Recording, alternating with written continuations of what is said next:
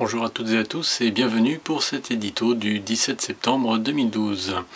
La base de données PostgreSQL vient de connaître une nouvelle mise à jour avec euh, la version 9.2. Alors c'est une version qui apporte des améliorations mais qui surtout affirme la volonté de ses développeurs de maintenir celle-ci dans le groupe de tête des bases de données pour entreprises, voire pour grande entreprise. Alors Parmi les annonces de cette version, il y a tout un pan qui concerne, on va dire, des améliorations de performance avec des chiffres très impressionnants, comme des requêtes de lecture euh, de données 4 euh, fois plus rapides, 5 fois plus d'écriture à la seconde, des parcours d'index de 2 à 20 fois plus véloces. Enfin bref, euh, que du bon pour les utilisateurs de grosses bases de données. Alors évidemment, dans l'absolu, ces chiffres ne veulent pas forcément dire grand-chose, mais en tout cas, ils montrent une véritable amélioration de cette version par rapport euh, à la précédente.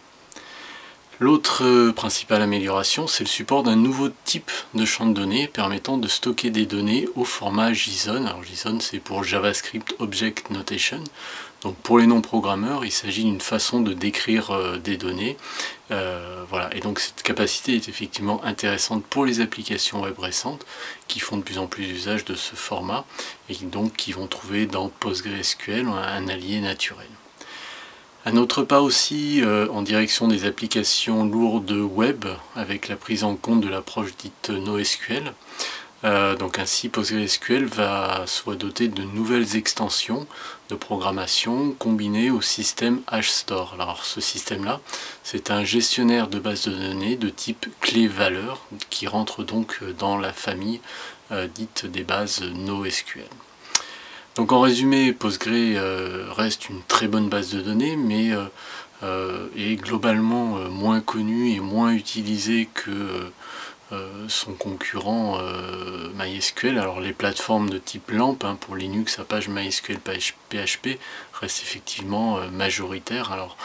Ce qui devrait à terme quand même poser quelques soucis compte tenu de la stratégie mise en œuvre par Oracle qui risque de dépouiller MySQL de ses attraits aux yeux des millions d'utilisateurs de, la version communautaire. Alors, les tenants de MySQL rappelleront qu'il existe un fork de, MySQL, MariaDB, qui permet de euh, quitter facilement euh, MySQL sans rien changer dans ses applications. Alors, faut-il préférer MariaDB euh, pour sa compatibilité avec MySQL ou passer à PostSQL Bon, j'avoue ne pas avoir encore de, de réponse tranchée. Alors, un élément de réponse réside peut-être dans euh, la licence de ces deux bases de données. Euh, MariaDB est sous une licence GPL alors que PostgreSQL est sous une licence euh, de type BSD, donc beaucoup plus permissive, hein, puisqu'il est possible de vendre des exécutables de la base de données, des exécutables même modifiés de la base de données, sans en fournir les sources. Hein. Donc un obstacle peut-être à la contribution pour un certain nombre de développeurs. On se retrouve pour un prochain édito euh, la semaine prochaine. En attendant, portez-vous bien et à très bientôt.